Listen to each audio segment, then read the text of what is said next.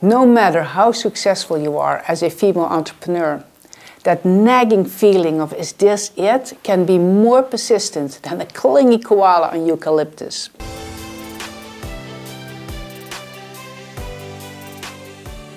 And that feeling leads to stress in your system.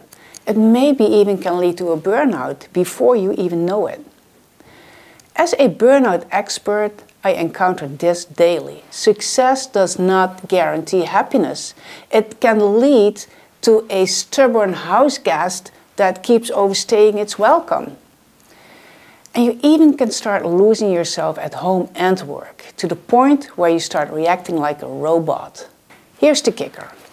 You often do not notice it sneaking in. You're working hard, the business is really booming, and everything and everybody seem happy. But what about you? You're about as content as a cat in a dog park.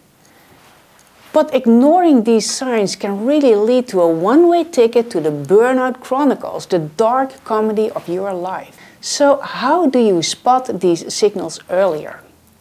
Well, take your feelings seriously before they lead you down a path of health issues and divorce and being a bad mom.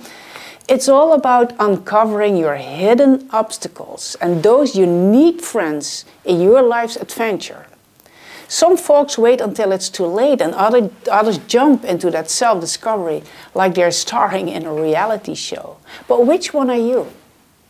DM me if you want to find out and avoid a starring role in the Burnout Chronicles.